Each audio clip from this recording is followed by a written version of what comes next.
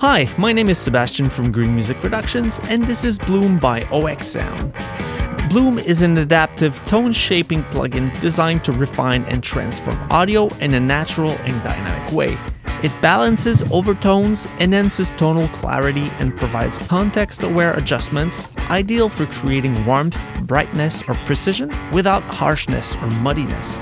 So, without going too deep into the technical things that Bloom can do, let's dive right in and try to improve on this simple drum and bass track. So right off the bat, I put Bloom on the drum track, which is a sterile sounding Groove Agent preset. Um, and as soon as you put it on, it already is affecting the sound. As you can see here, it's dynamically adjusting the frequencies to try to remove some harshness or some problems in the frequency range.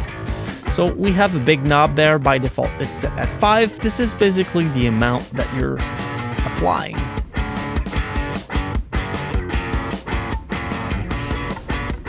You can reach the squash zone, which basically squashes the sound, similar to what a compressor would do.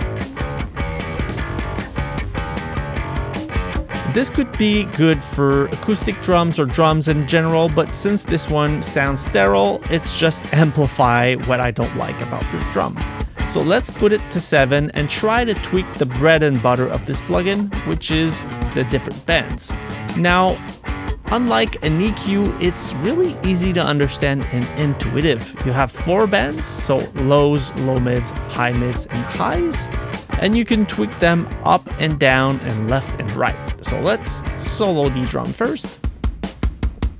By moving up, it's basically increasing that frequency, but but it's context aware and it's doing it dynamically, so it never really sounds bad no matter what I do. I can Alt Alt to solo the bend and only hear what I'm doing. Or I could press that headphone button right there to do the same thing.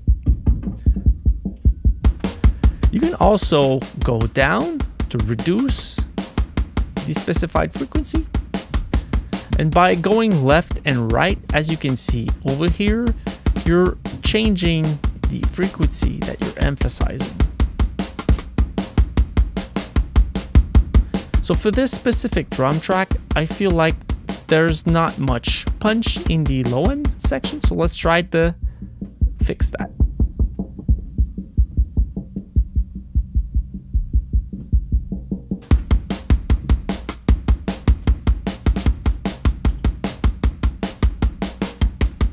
That's better. Now let's move to the low mid section. Most of the time, you would want to remove that cardboard sound in a drum. Since this track is already pretty rich in high frequency, I will try to raise the low mids instead.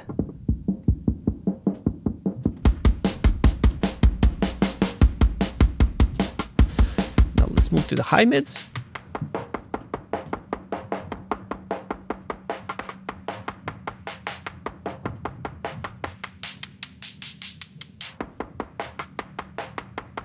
I kind of like the 1K.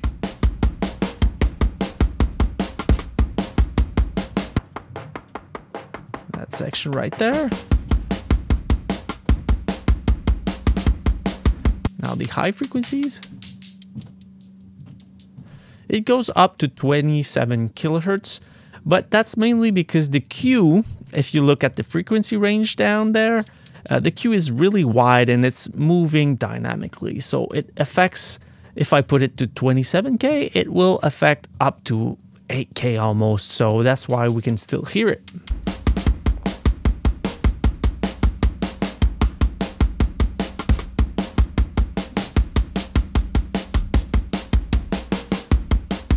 Add a little bit of 2.5 kilohertz. Now let's bypass the plugin Wow. That's a big improvement in my opinion. Now let's try to move it into the squash zone. I don't dislike that.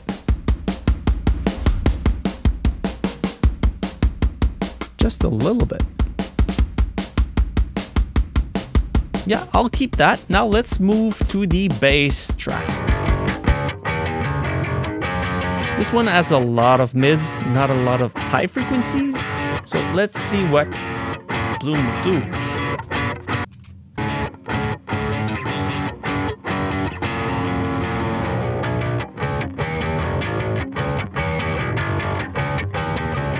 Right off the bat, it brings back some high frequencies and some low frequencies, and it carves some space into the uh, low mids slash high mids.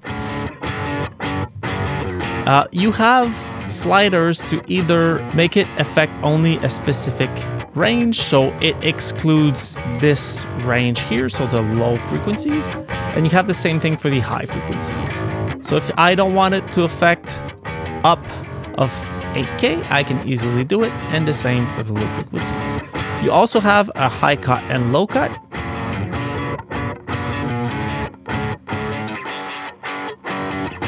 In this case, I feel like the low frequencies of that bass are really muddy, so I think I will use the low cut in this situation. Let me try to isolate the frequency. I feel like everything under 100 hertz is just muddiness, so probably set it to somewhere around 90.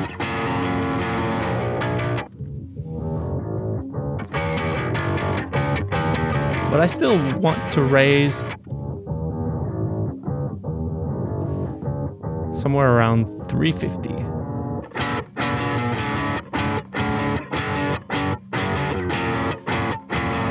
Let's move to the low mids.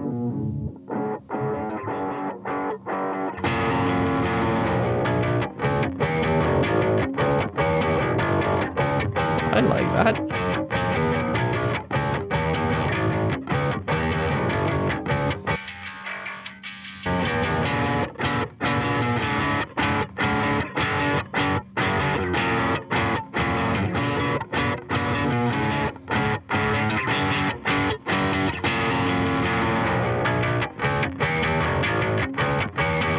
Somewhere around 2k I, I feel like it's pretty good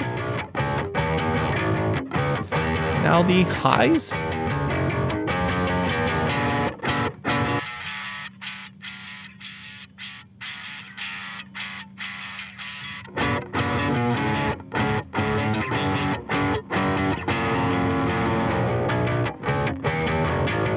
Okay, let's bypass it.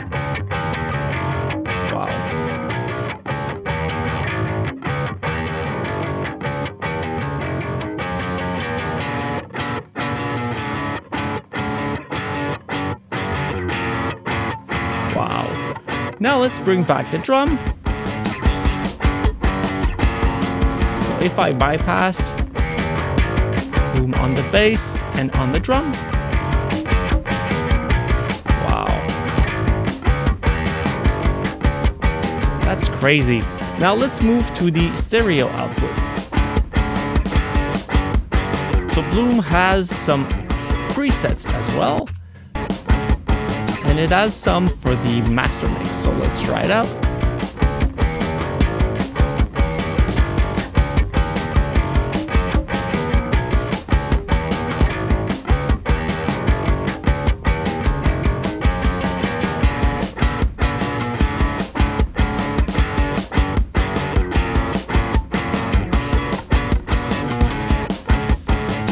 As you can see here, you also have the ability to tweak the mids and the sides separately. So in this case, for this uh, mix bus preset, it's in MS split mode. So you can separately tweak the mids and the sides, which is a good thing.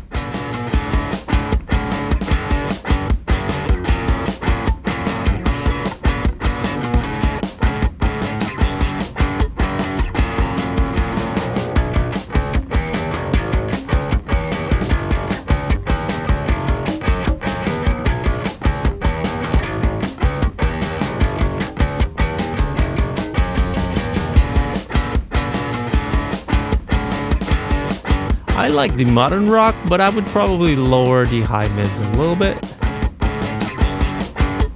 I feel like it's a bit too bright. without, with.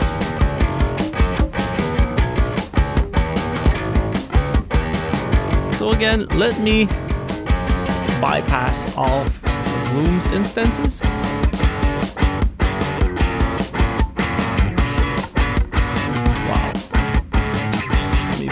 On. That's crazy. Um, I really like plugins that are really easy to use, that it's almost impossible for you to mess up the sound. In this case, since it's context aware and it's dynamic, it's never gonna really sound bad, but it will help you emphasize on what you want. So that's really cool. And this was really simple. It was just on a drum and bass track. But imagine what it can do to a full track uh, I'll leave a link to their website uh, below so you can check it out. Uh, they have amazing plugins.